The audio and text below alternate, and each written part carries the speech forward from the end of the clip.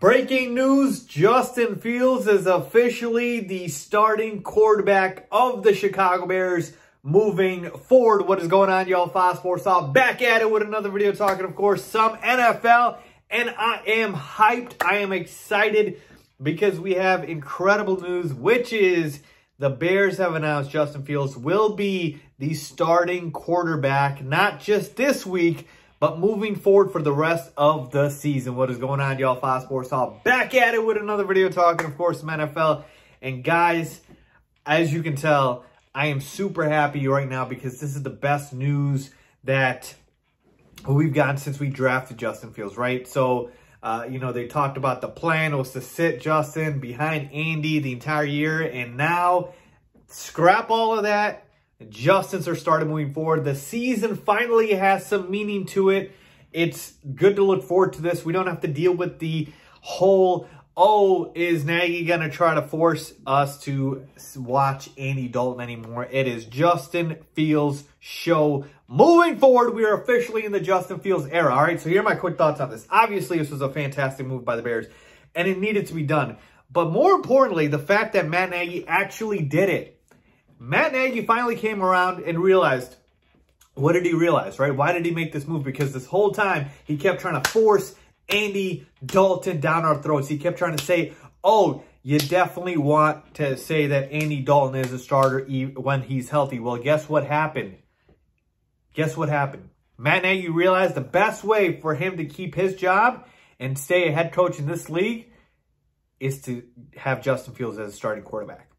All right? He's the guy that went ahead and pushed for Justin Fields so that Ryan Pace would draft him. And then now you are trying to shove Andy Dalton down our throats. Like, it never made sense to me.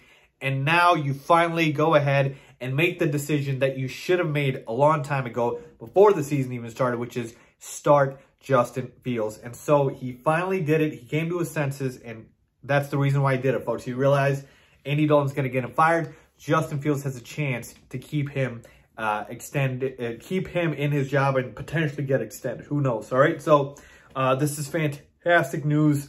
And the rest of the season, folks, again, I could care less about wins or losses. We're not going to win the Super Bowl this year. The Bears are uh, are not a Super Bowl contender, and that's fine. And you know what? I'm not going to say we're not definitively. Crazier things have happened. But what I'm trying to tell you is, and again, as you can tell, I'm, I'm all over the place because I'm so hyped. But what I'm trying to tell you is, I don't care about wins and losses as much as I care about the development of Justin Fields, our franchise quarterback. So all I want to see this season is progression. Every rep, every game, every series, every drive, I just want progression. This is all that it's about. It's about Justin Fields, and that's it. And now that David Montgomery's out for a couple weeks, even though it's, it's a bad, we actually get to see more on Justin Fields' plate as, as a passer uh, uh, in terms of the workload. And so it's going to be crazy to watch what he can do. But folks, I'm so hyped. I'm so excited. And the season finally has meaning now, right? Every game was like, okay, is Justin going to be the starter remaining this game? Because the games that Andy Dalton's starting, you're not looking forward to that. Now you're looking forward to these games. So I am so hyped on it. I'm so excited, guys. Let me know what you guys think. Leave a comment down below letting me know how hyped you are that Justin Fields is officially the Chicago Bears QB1 moving forward. Let's get it.